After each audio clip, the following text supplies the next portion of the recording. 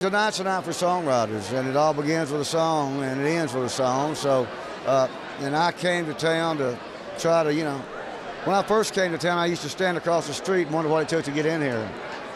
First year I came in here, I faked my way in, and uh, and uh, and then about five years later, I finally wrote a song and I got invited. here. But uh, it's a wonderful night. You see the best of the best of uh, of our business uh, on an evening like this, and and the fellowship's great, and uh, a lot of love in the house, and the room, and um, the music's really good. They make sure we get paid, and uh, we're proud to have them. Uh, and they take care of songwriters. You know, the, songwriters matter to BMI, and uh, and they it's a it's a special relationship.